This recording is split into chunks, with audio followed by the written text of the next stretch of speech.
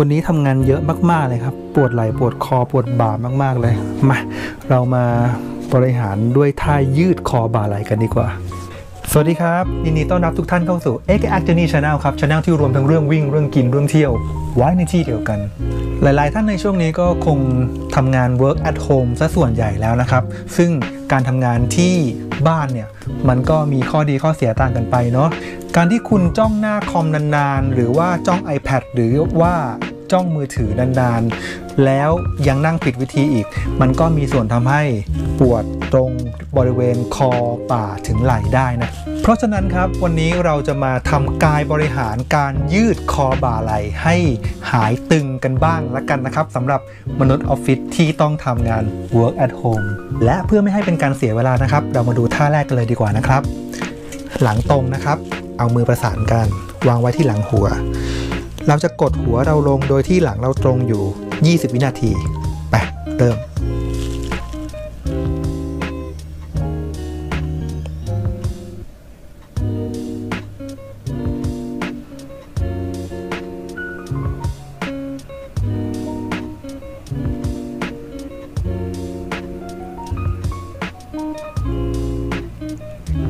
อ่า20 นาทีแล้วปุ๊บค่อยๆคลายครับ โอเค เริ่มดีขึ้นไหมครับท่านี้จะได้คลายความตึงของทั้งต้นคอเลยนะครับผมอะเมื่อมีกดลงก็ต้องมียกขึ้น เอามือประสานกันครับ เอาหลังมือนะครับ เฉยคางไว้นะครับ ผมแล้วก็ดันขึ้นครับ โดยที่หลังตรงนะครับ 20 วินาที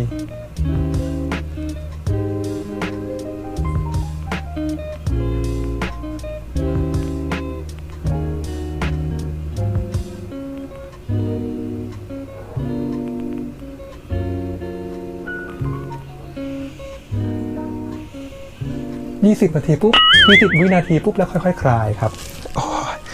โอเคไหมหมุนคอนิดหน่อยนะครับอ่าเมื่อเราทำ90 องศาปุ๊บเราจะทำ45 องศาบ้างซ้ายขวานะครับ หันไปหันหน้าไปทางด้านขวาก่อนก็ได้เนาะกดหัวลงก่อนแล้วกันนะครับ เอามือนะครับ แตะข้างหลังแล้วก็กดลงครับ โดยที่มือซ้ายนะครับ แตะตรงนี้ไว้นะครับ แตะ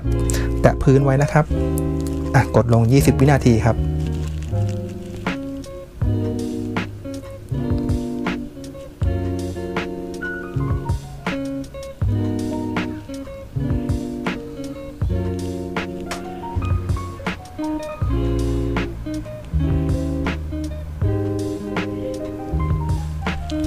เคคลายนะครับท่านี้จะลดความตึงของต้นคอด้านซ้ายนะครับทีนี้ก็ข้างเดียวกันนะครับ 45 องศาเงยเชิดเชิดขึ้นครับ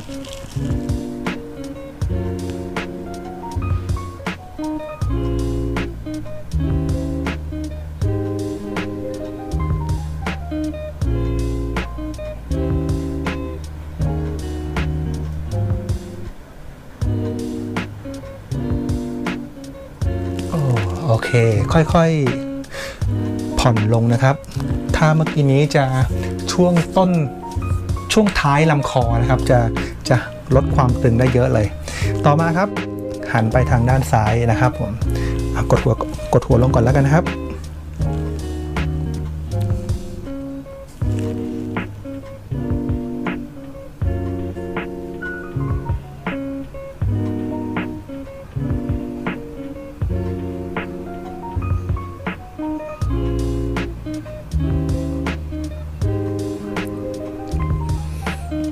สังเกตครับ ตรงนี้จะคลายความตึงได้เยอะมาก ๆ เลยนะครับ โอเค เรามาบริหารช่วงช่วงท้ายคอนะครับ ด้วยการเชิดขึ้นครับ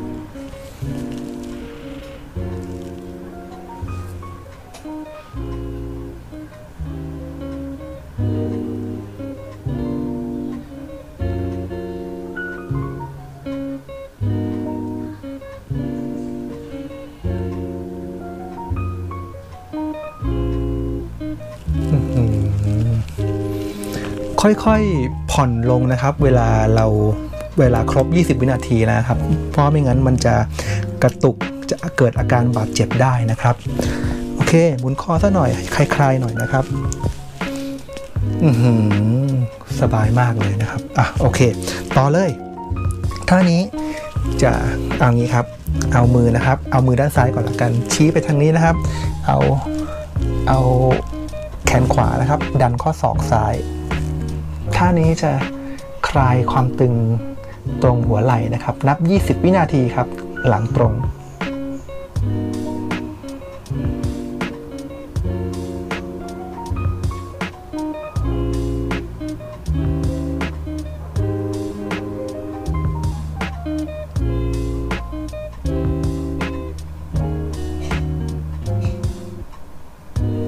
โอเคทำอีกข้างหนึ่งครับ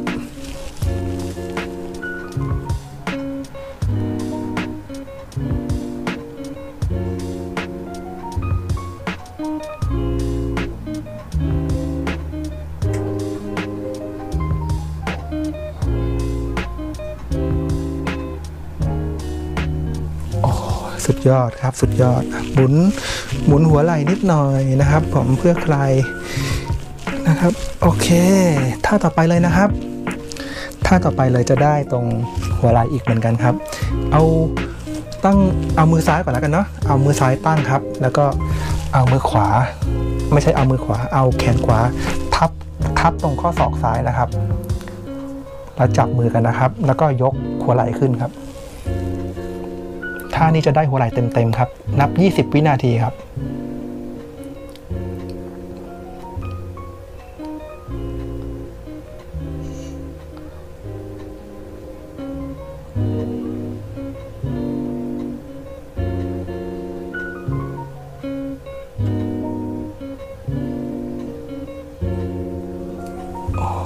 โอเคครับท่านี้จะได้หัวไหล่ขวาครับ สุดยอดมาก ๆ ครับทำเหมือนเดิมครับ เอาแขนขวาตั้งขึ้นนะครับ แล้วเอาแขนซ้ายอยู่บนแขนขวาเนาะแล้วก็กำมือกันครับ แล้วก็ยกขึ้นครับ ท่านี้จะได้หัวไหล่ซ้ายครับ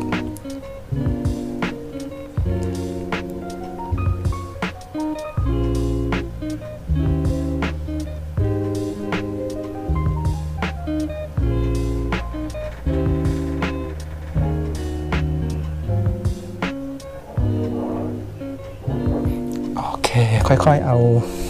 ค่อยๆคคลายนะครับอืมหมุนหัวไหล่นิดนึงนะครับ โอเค เยี่ยมมากเลยสบายจริง ๆ บอกเลยว่าสบายจริงครับสำหรับมนุษย์เงินเดือนที่ work from home แล้วก็แบบแบบต้องมีความจำเป็นต้องทำงานแล้วก็แบบนั่งแบบไม่ถูกวิธีนะครับ บางบางคนก็เอาโต๊ะญี่ปุ่นมาตั้ง แล้วก็นั่งกับพื้นอย่างเงี้ยครับ เช่นเดียวกับผมเหมือนกันเลย มันจะไม่ work เลยนะครับ ไม่ work เลยรู้สึกว่าเราปวดหัวปวดตามากๆ ซึ่งการใช้สายตาจ้องคอมจ้อง iPad จ้องมือถืออะไรเงี้ยก็มีส่วนทำให้กล้ามเนื้อตรงคอบ่าไหล่ตึงมาก ๆนะครับผมอะต่อไปเลยนะครับ ท่าต่อไปก็คือ การเอามือนะครับ วางตรงพื้นครับ แล้วก็ยกไหล่ขึ้นลงครับ 20 ครั้งเนาะ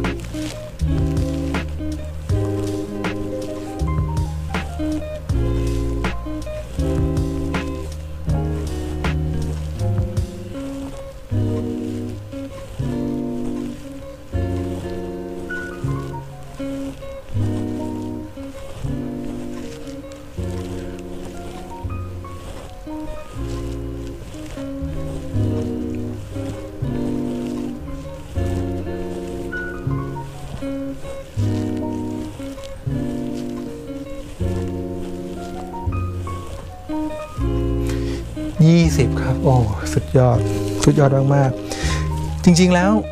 ก่อนที่จะไปถึงท่าสุดท้ายครับ ผมจะแนะนำอะไรอย่างหนึ่งนะ คือโดยส่วนตัวผมเองเนี่ย คือผมอะเป็นออฟฟิศซินโดรมบ่อยมากๆ แล้วผมจ้องคอม ผมต้องทำงานเกี่ยวกับคอมมากๆ แล้วผมก็ไปหาคุณหมอ คุณหมอบอกว่าจริงๆแล้วอะเราอะไม่ต้องไปหาหมอนวดนวดคอบาไหลอะไรเลย เราใช้ท่าพวกนี้แหละาพวกนี้ผมก็ได้จากการกายภาพบำบัดจากโรงพยาบาล ซึ่งนักกายภาพบำบัดบอกผมมาอีกทีหนึ่งผมก็เลยเอามาแชร์ให้ฟังนะครับผมท่าสุดท้ายครับเป็นท่าที่ใช้ได้ทีเด็ดที่สุดเลยท่าไม่รู้จะทำท่าอะไรแล้วเนี่ยเป็นท่าที่แบบว่าเป็นการหมุนไหล่ให้มันมันดังกรึกอะ่ะพอมันดังกรึกปุ๊บเราจะรู้สึกโล่งไปทั้งหัวเลยนะครับ ก็คือการยกไหล่ขึ้นจริง ๆ มันเหมือนท่าสุดท้ายแหละ แต่ว่าเราเพิ่มการหมุนลงไปเนี่ยมันจะดังกรึก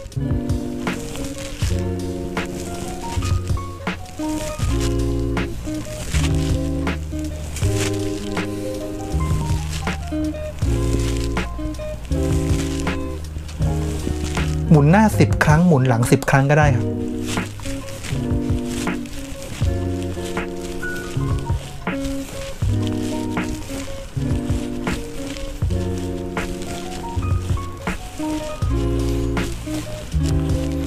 โอ้โห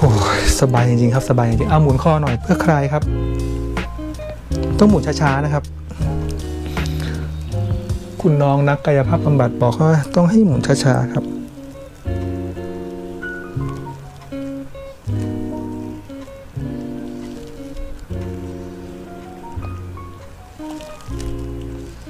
คุณจะได้ยินเสียงที่แบบว่าเสียงในในคอเรา